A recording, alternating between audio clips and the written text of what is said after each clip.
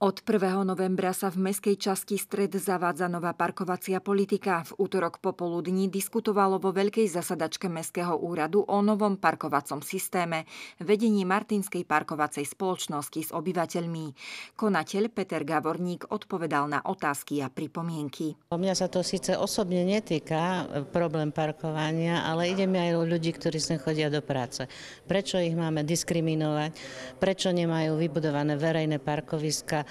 Aby odstavné parkoviska, aby autá si mali kde nechať. Chápem, že títo ľudia sú, sú ich to hnevá a že ich to rozčuluje, že musia platiť e, v podstate nemalé peniaze. Len, e, viete, našim prioritným záujmom je parkovanie rezidentov, parkovanie obyvateľov mestskej časti stred, parkovanie rezidentov mesta ako takých. E, pre nich v podstate máme režim napríklad odstavných parkovisk, kde môžu každý deň prísť, môžu tam parkovať 24 hodín, 7 dní v týždni a nemusia nemusia platiť e, ani euro. Aj keď nemáte akúkoľvek rezidentskú parkovaciu kartu, stále si môžete požiadať o rezidentskú kartu na, do tej zóny OP a tá je bezplatná. Umožňuje vám parkovanie v podstate pod múzeum, umožňuje vám parkovanie pri plavárni na Novomestskej ulici, e, pod e, zdravotnou školou a pri, e, pri súde. Hej, je parkovisko na Červenej armády. Čiže tieto odstavné plochy fungujú, pre rezidentov sú bezplatné a aj nerezident tam môže zaparkovať za relatívne menšie peniaze. Myslím, že tam je tarifa 60 centov na hodinu, pričom opakujem, že maximálna denná tarifa, ktorá je spoplatnená, je 7 hodín za deň. Pýtal som sa konkrétne ten, že na vlastníka bytu, aký je, že či je pridelené parkovacie miesto, že na čo to závisí. No. A je to tam odôvodnené, že musí byť trvalý pobyt, čo sa mi moc nezdá. Je to jednoznačná motivácia aj pre mesto, aby e, naozaj tí obyvateľia, ktorí v meste bývajú a, a dennodenne sa tu zdržiavajú, aby tu mali, mali aj reálne trvalý pobyt a aby to mesto malo z nich e, aj e, v podstate tie podielové dane, ktoré mu prislúchajú. Pretože viete, že tí ľudia, ktorí tu bývajú a nemajú tu trvalý pobyt, využívajú dennodenne infraštruktúru, využívajú dennodenne služby, ktoré to mesto poskytuje. To mesto im musí e, tie komunikácie, komunikácie udržiavať, musí udržiavať zeleň a tak ďalej. Máme momentálne dosť veľký problém s turistami a, alebo s ľuďmi, s Martinčanmi dokonca, ktorí zneužívajú e, rezidentské parkovacie miesta na to, aby parkovali, kde nemajú. Aj, alebo aby parkovali, lepšie povedané, zadarmo. Takže myslím si, že tento systém e, bude výborný v tom, že sa budú títo ľudia môcť e, jednoduchšie kontrolovať.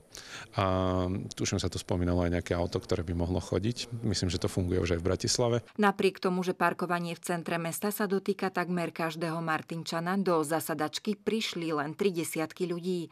Hoci konateľ spoločnosti zodpovedal na množstvo otázok, niektoré špecifické ostali aj s otáznikom.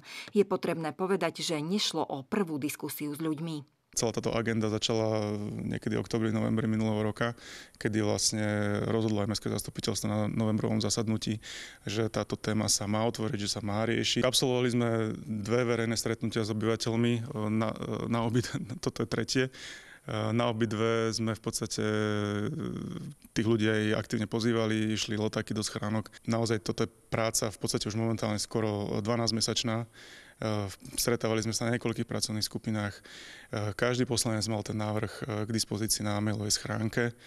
Eh, mohli dávať pripomienky, veď konec koncov je to všeobecne záväzné nariadenie, to bez toho ani nejde.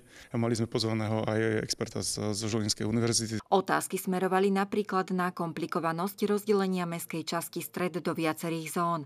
Niektorí mali výhrady k cenám za druhé a tretie auto, ak k výške poplatku za parkovaciu kartu pre ľudí bez trvalého pobytu. Nikto, kto uh, má trvalý pobyt v Martine, nebude platiť 500 eur, nebude platiť 700 eur.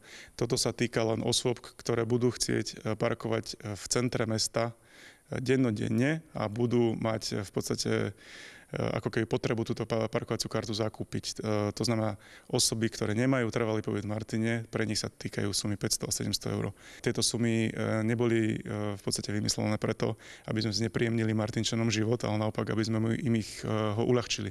Hej. Aby sme eliminovali ten denodenný nával aut z okolitých dedín a miest a aby sa tu proste spravil s tým poriadok. Obyvatelia sa najviac obávajú, že keď si zaplatia za parkovaciu kartu alebo si kúpia lístok, nebudú mať kde zaparkovať. Je tu nejaká obava, že, že to parkovacie miesto si nenájdem.